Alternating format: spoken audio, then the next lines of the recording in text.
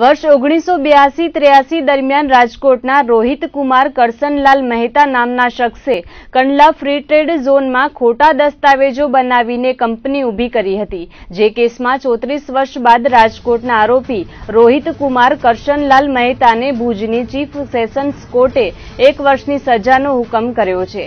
ઓગણીસો બ્યાસીમાં રોહિત કુમાર મહેતા નામના શખ્સે રમેશ સંજય પ્રાણલાલ મહેતાના નામે કંપની ઊભી કરી હતી. આ કંપનીમાં ભ્રષ્ટાચાર અને ખોટી રીતે આયાત તેમજ નિકાસ થતો હોવાની ફરિયાદો ઉઠ્યા બાદ તપાસ હાથ ધરાઈ હતી. તપાસ દરમિયાન જે વ્યક્તિના નામે કંપની ઊભી કરવામાં આવી હતી એવો કોઈ વ્યક્તિ ન હોવાનું બહાર આવ્યું હતું. સરકાર સાથે છેતરપિંડી કરી હતી. જે કેસમાં ચોત્રીસ વર્ષ બાદ ભુજની સેશન્સ કોર્ટે આરોપીને એક વર્ષની સજા ફટકારી છે. અગાઉ ચીફ જ્યુડિશિયલ કોર્ટે પણ એક વર્ષની સજા ફટકારી હતી, જેમાં સરકારે હાઈકોર્ટમાં કેસ દાખલ કર્યો હતો.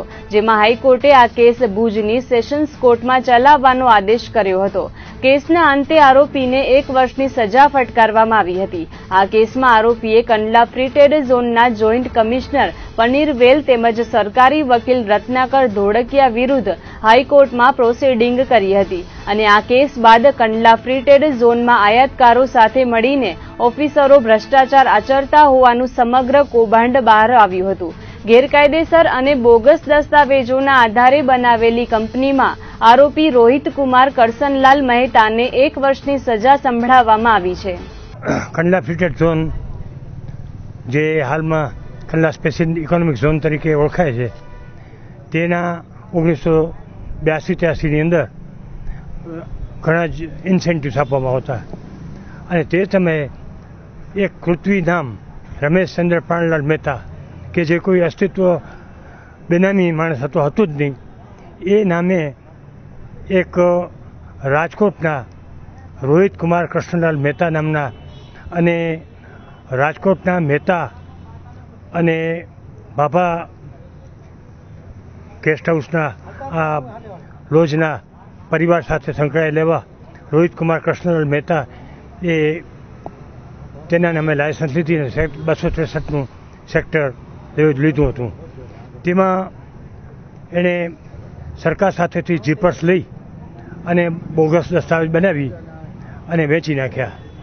આમાં જે કૃત્રિમ દસ્તાવેજ થયા તે જાણતો હતો કે આ માણસ છે નહીં.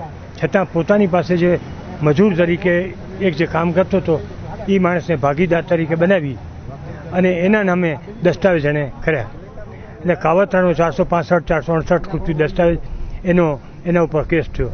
અને એમાં સરકારે ચારસો પાસઠ, ચારસો અડસઠ એમાં નિર્દોષ છોડ્યા. એના સામે અમે અપીલ કરી અને સજા વધારવા માટે અપીલ કરી હતી.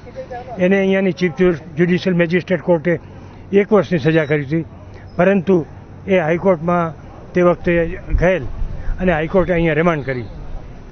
અને રિમાન્ડ થતાં એ આજે સેશન્સ જજ શ્રી રાવળ સાહેબે એ સજા કાયમ કરી અને ખોટા દસ્તાવેજ બનાવીને એને સરકાર સાથે છેતરપિંડી કરવાનું સાબિત થતું હોવાનું માની અને અપીલ રદ કરી છે.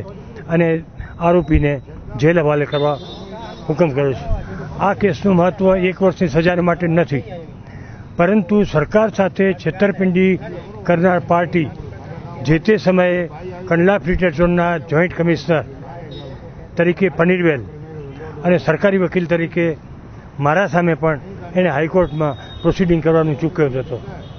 અને તે વખતે સદભાગ્ય અશોક ચતુર્વેદી કરી અને આસિસ્ટન્ટ કમિશનર આવ્યા હતા એણે જહેમત લીધી. એને કારણે આ કેસ કેસ થઈ પડ્યો.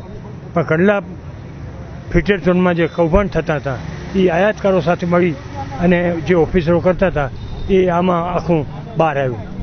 એટલે આ વર્ષોથી જે સજા ટાળતો હતો ઓગણીસો ને ત્ર્યાસીથી, એને પહેલી વખત આજે કોર્ટમાં એને જ્યુડિશિયલ હવાલતમાં લેવામાં આવ્યું. એટલે આ બતાવે છે કે ન્યાયની સર્વોપરિતા છે